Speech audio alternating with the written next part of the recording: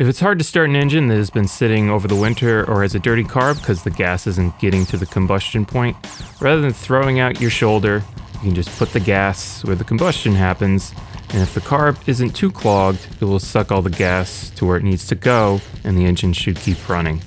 So you need a spark plug ratchet, which will be 13 16ths or 5 eighths if it's an American brand, and 19 millimeters if it's Japanese or something that uses millimeters. And are there more? Probably.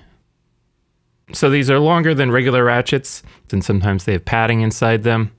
Some mowers will make it difficult to get to the spark plug, like to try and hide it behind a bunch of plastic. Uh, here, I cut out some of the plastic uh, so I could get in there easier, and I even carved what size ratchet to use on the cover. So I got my 5 8 ratchet, click it for lefty loosey, Pop off the spark plug cover and clean out any junk that might fall in.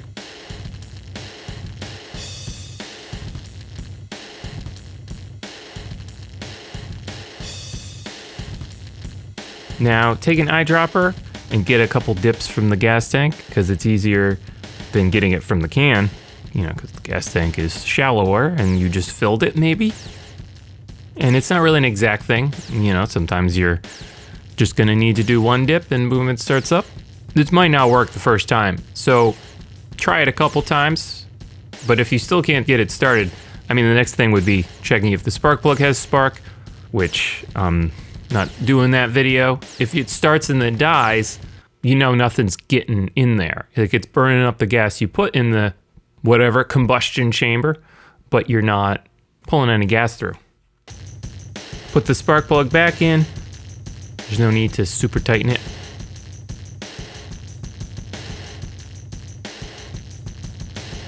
By the way, now if it's hard to get the ratchet off the spark plug, grab it with some pliers and boom. So I'm checking the oil, priming the carb, and forgetting to, but now remembering to reconnect the spark plug wire.